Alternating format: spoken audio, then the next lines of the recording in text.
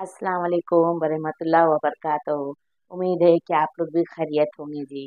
आ, मेरे सरवर दस्तर पे आप लोग का स्वागत है। चलो आज मैं बनाने वाली हूँ आलू दम में तेल डाल रही हूँ।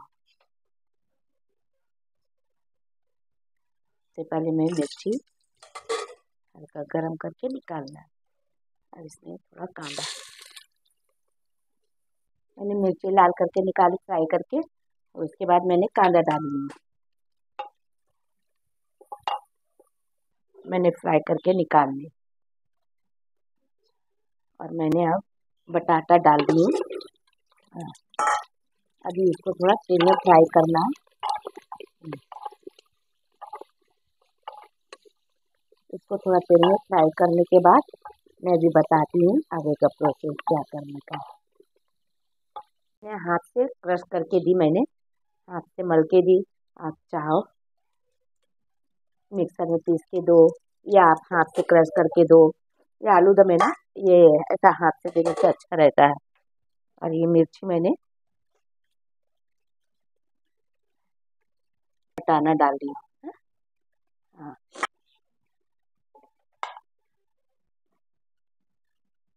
थोड़ा सा हल्दी पाउडर। थोड़ा सा ज़ीरा पाउडर। थोड़ा धनिया पाउडर। ये ज़रा सा काली मिर्च।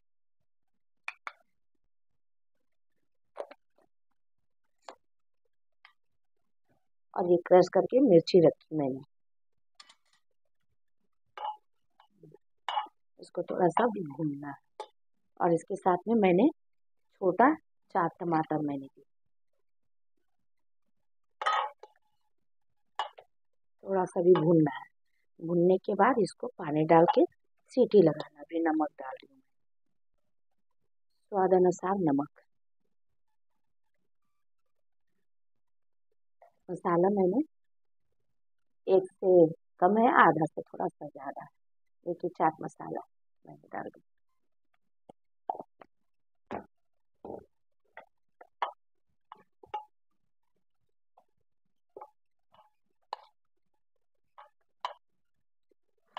इसको थोड़ा देरी भूनने के बाद सीटी लगा दे रही हूँ मैं, जल्दी हो जाएगा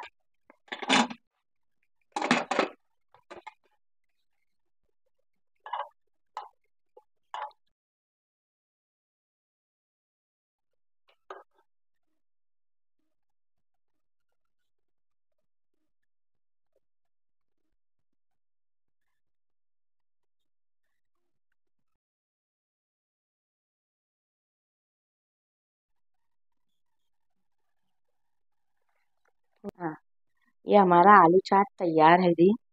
देखिए, आप इसे आलू चाट कहें या आलू दम कहें, ये इस तरीक़ा से आलू चाट आप इमली का या तेंतुल का आप पानी दे के इसको खा सकते हैं। आप जिस तरह चाह, चाहे ग्रेवी बना के खाओ या ऐसा सूखा बना के खाओ, ये आलू चाट इस तरीक़ा से, ये आलू चाट तैयार है हमारा।